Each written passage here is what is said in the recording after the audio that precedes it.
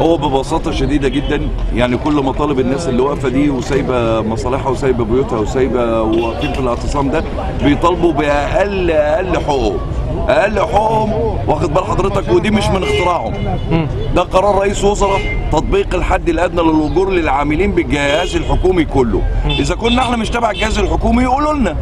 يعني إحنا اللي إحنا عارفينه إن في عقد ضمني بيننا وبين الحكومة إن إحنا موظفين في الحكومة. يبقى اللي ينطبق على موظفين الحكومة ينطبق علينا. الحد الأدنى الباشا مهندس آه، رئيس الهيئة مش عايز يطبقه علينا ليه؟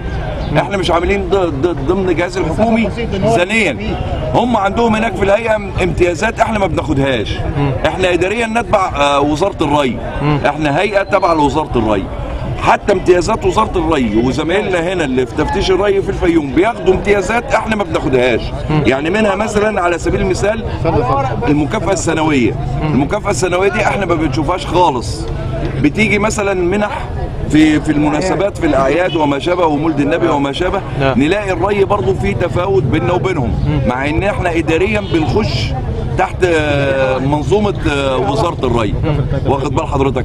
في ناس طبعا من زمايلنا ونفس الكادر ويمكن أقل منا في الدرجات وهناك في رئاسة الهيئة بياخدوا 500% و12 مثل وبالبنط وما شابه وتقسيمة هم هم عاملينها بمزاجهم. دي ما, ما بنتبعش ليها خالص. حوافزنا طبعا كلام آه، لو قلنا لكم مش هتصدق. إن الحوافز بتاعتنا 3 جنيه ونص و5 جنيه و7 جنيه. لما واحد بدرجة مدير عام ياخد يقف على الخزنة عشان ياخد 7 جنيه حوافز. إذا كان ده يرضي ربنا ماشي.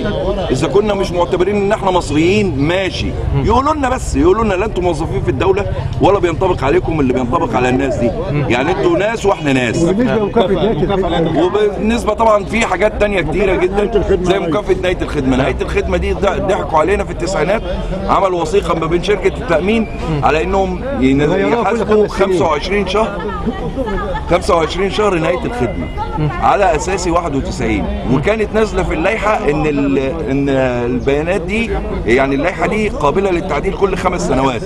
عدى عليها خمس تعديلات ما تعد يعني عدى عليها خمس مدد وما تعدلتش. حسابيا الواحد يعني اللي 5000 هيطلع على. المعاش النهارده ياخد له 3000 أو 4000 جنيه مكافاه نهاية الخدمة. بعد 36 و38 ومعانا ناس هنا مدة خبرتها أصلا معديه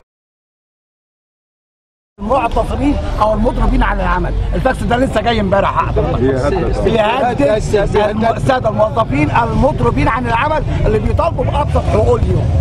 ادي الفاكس ده لسه جاي امبارح. وده مش يعني اختراع. يقعد معانا ويبعت لنا مندوب من عنده. أو وكيل وزارة من عنده أو مسؤول قطاع شمال الصعيد يتفاوض معانا ويعرف أدنى حقوق لينا إلا إنه بيبعت لنا فاكس امبارح الساعة 12 بيهددنا فيه. يعني هو كده دولة داخل الدولة يعني هو كده لو معترف بقرار رئيس وزراء تطبيق الحد الادنى وليست في توزيع عدالة اجتماعية منصفة. مفيش. أنا النهارده أتمنى أكون فراش في مكتب رئيس الهيئه بالظبط.